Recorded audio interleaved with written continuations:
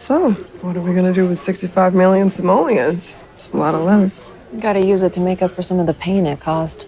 Sure.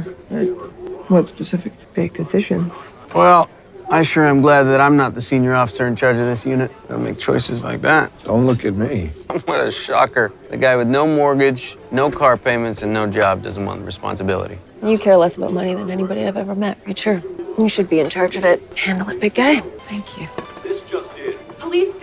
Police recovered two bodies from the wreckage of a helicopter that went down in the Hudson River early this morning. Just terrible. A fisherman who witnessed Yeah. the crash said Real the chopper shame. had a stream of smoke trailing behind it, followed by an explosion.